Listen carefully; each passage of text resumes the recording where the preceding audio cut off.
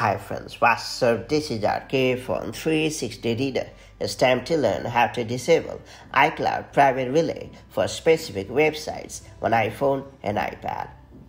iCloud Private Relay is designed to protect your privacy by making sure when you browse the web in Safari, no single party, not even Apple, can see both who you are and what sites you are visiting. When Private Relay is enabled, your requests are sent through two separate and secure internet relays. It hides your IP address to safeguard your privacy and also block the unwanted tracking.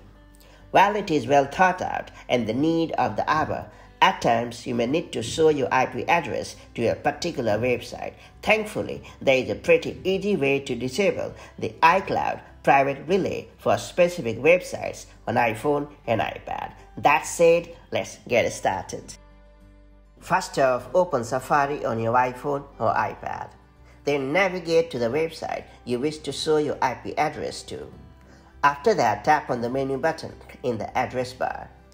Next, tap on Show IP Address to turn off iCloud Relay for this particular site and browsing session.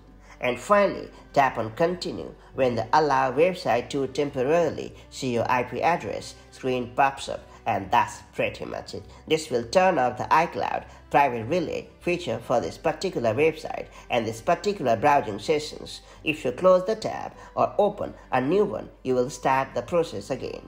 You can turn iCloud private relay back on again for the website in question by returning to the same menu and then choosing to hide IP address again. And that's pretty much it. So that's how you can easily enable or disable iCloud private relay for specific websites in Safari on iPhone and iPad. If you found this video helpful, do like and share it and I'll see you in the next video with more such handy tips and tricks. Till then, stay safe and have a nice Bye bye.